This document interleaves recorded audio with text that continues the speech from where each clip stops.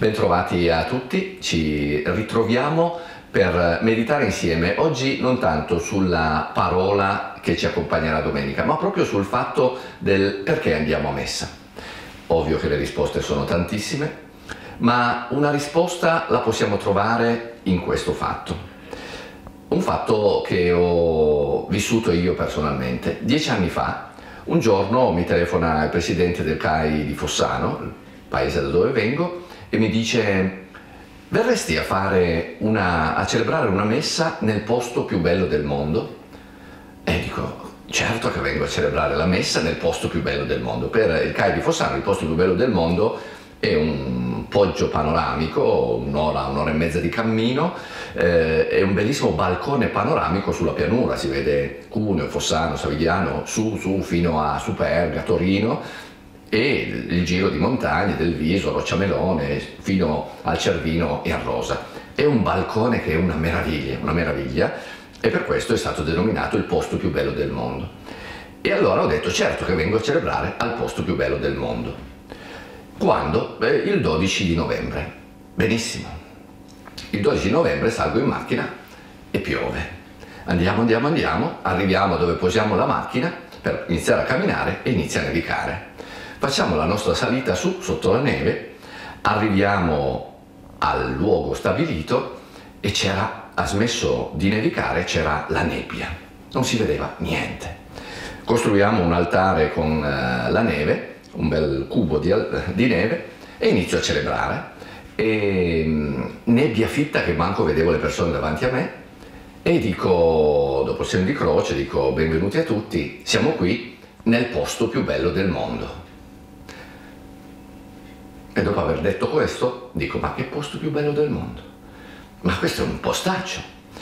In realtà, e poi non l'ho più detto per tutta la messa, però durante la messa a un certo punto ho avuto un'illuminazione, e cioè mi sono detto, non siamo in un altro posto, siamo proprio all'Alpeta di Rittana, cioè siamo proprio in quel balcone che quando è limpido hai davanti una meraviglia. E siamo proprio qui, e lì davanti c'è proprio Cuneo, Fossano, Savigliano, Torino, il Viso, il Rosa, è tutto lì, è tutto lì, non è che non c'è. È solo che oggi c'è la nebbia, non si vede e dunque bisogna crederci. Bellissimo. Secondo me quella è stata una folgorazione. Tante volte nella vita le cose sono proprio lì davanti, ma c'è la nebbia, non le vedi. Succede a volte nelle relazioni non è che quella persona è un'altra, è quella persona a cui vuoi bene, ma c'è stato un litigio e c'è la nebbia, non lo vedi, ci devi credere. Tuo figlio arriva a 15 anni e inizia a cambiare parecchio, e non è un altro figlio, è proprio sempre tuo figlio, ma c'è un po' di nebbia e bisogna crederci. Nella vita, quante volte noi dobbiamo crederci alla vita, anche quando immediatamente non vediamo proprio le cose belle, ma ci sono, bisogna crederci. Bene, io penso che alla messa, ai riti, si va per allenare gli occhi a crederci, a vedere oltre la nebbia, a vedere più di quel che si vede. Allora, per aiutarci in questo, guardiamo questo bellissimo dipinto famoso, Viandante su mare di nebbia di Friedrich. Eh, questo dipinto è estremamente interessante perché se noi lo guardiamo, vediamo un signore che ha fatto una lunga camminata, è arrivato in cima e adesso sta guardando. Non sta semplicemente ammirando, ha lo sguardo fisso avanti, oltre. Potremmo quasi dire che in quel mare di nebbia sta cercando qualcosa. E in una posizione, guardate che bello, sembra che stia ancora camminando. Vedete, ha un piede davanti all'altro, è appoggiato al bastone, è in piedi. E certo che non può camminare perché è arrivato in cima, ma in realtà Ora lui è fermo e cammina con lo sguardo, cioè con lo sguardo sta andando a cercare qualcosa laggiù nella nebbia.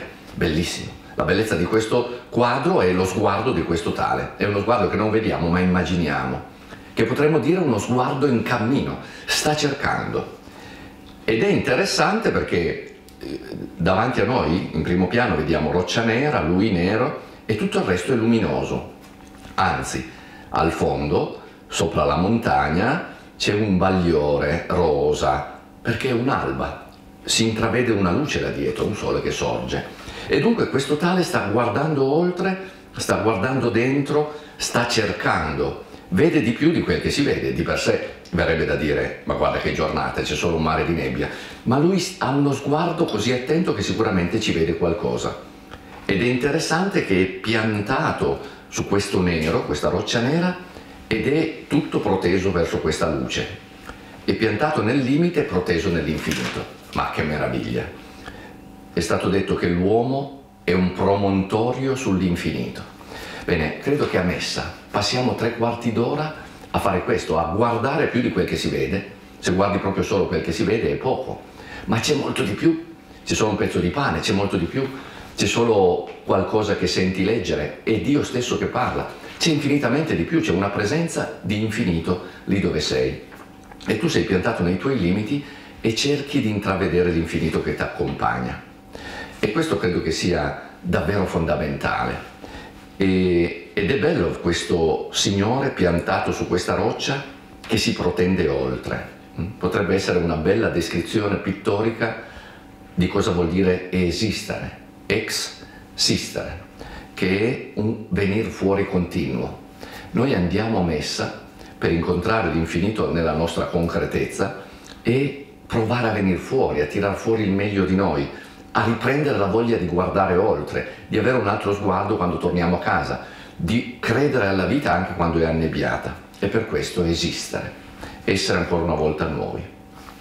Nel Nuovo Testamento c'è un versetto che dice c'è ancora qualcuno su questa terra che sta in piedi come se vedesse l'infinito.